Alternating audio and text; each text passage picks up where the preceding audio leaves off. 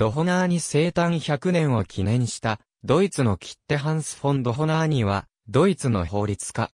反ナチス抵抗運動に参加し、処刑された。ハンガリーの作曲家ドホナーニ・エルネーと、その妻でピアニストだったエリザベート・クンバルトの息子としてウィーンに生まれる。両親の離婚後はベルリンで育つ。ギムナジウム時代の学友に、後に、神学者として、反ナチ抵抗運動に加わるディートリヒ・ボンヘッファーと、その兄クラウスがいた。1920年から1925年まで、ベルリン大学で法学を学び、1925年に、ハンブルクの港湾施設に対するチェコスロバキアによる使用権主張に関する論文で博士号を取得した。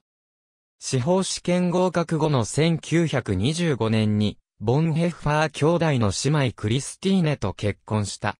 この結婚を機に、ハンガリー系の聖ドホナーニの A の上についていた母音の超音記号を除去した。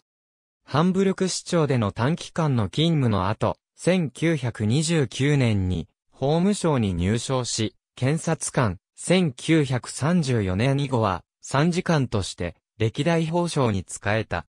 1932年には最高裁判所長官、エルビン・ブムケの補佐官を務め、その際、フランツ・フォン・パーペン首相による、プロイセン州のオットー・ブラウン州首相解任事件に、対する違法裁定判決に関わった。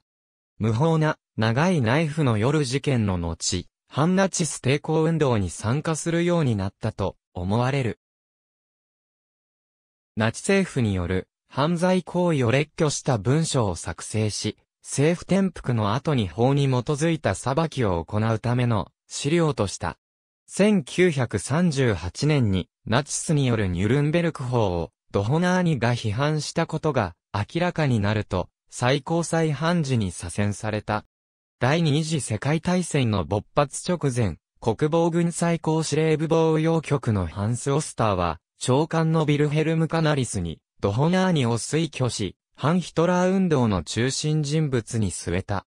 1942年には、ユダヤ人として追われていた、弁護士、フリードリヒ・アルノルトとユリウス・フリースやその家族を、防用局のエージェントに偽装して、スイスに送り込んで亡命させた。合計13人がドホナーニの偽造した書類によって、亡命を果たした。ドホナーニ自身も、スイスを秘密訪問して亡命者受け入れの下工作をしていた。1943年3月には、ヘニング・フォントレス公によるヒトラー暗殺計画に参加し、暗殺成功後のクーデターを準備したが、失敗に終わった。1943年4月5日、ドホナーニは、不正送金及び汚職の容疑で逮捕された。しかし、ドホナーニに対する裁判は、反ナチュ派の陸軍裁判官、カール・ザックにより意図的に引き延ばされた。1944年に、ドホナーニは、ザクセンハウゼン強制収容所に送られた。同年7月20日のヒトラー暗殺未遂事件が、失敗に終わると、ドホナーニのヒトラー暗殺計画への関与が明らかになった。翌年4月8日、収容所内で、ドホナーニは、法的根拠のない即決裁判で、死刑判決を受け、公主刑が執行された。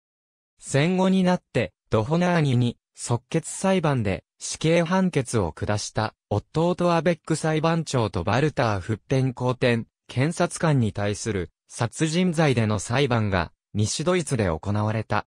連邦裁判所は控訴裁判所による2度の無罪判決を棄却したものの、1956年になって、即決裁判は当時の法律によれば合法であり、法に基づく判決であったとして、無罪判決を下した。これに対して、道義上、あるいは法学上の批判が巻き起こった。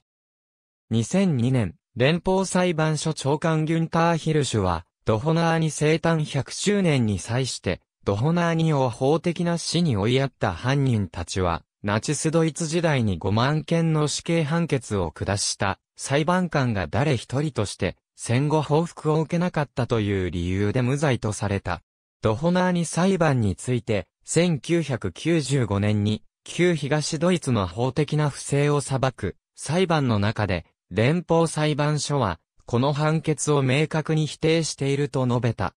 イスラエルは2003年10月26日、アルモルトを呼び、フリース一家を救ったドホナーニの功績を称えて、諸国民の中の正義の人に列し、ヤドバシェム記念館の壁にドホナーニの名を刻んだ。妻クリスティーネとの間に賛辞を設けた。ありがとうございます。